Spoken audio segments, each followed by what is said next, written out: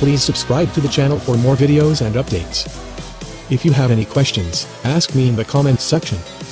You can also reach me directly on Discord or Instagram.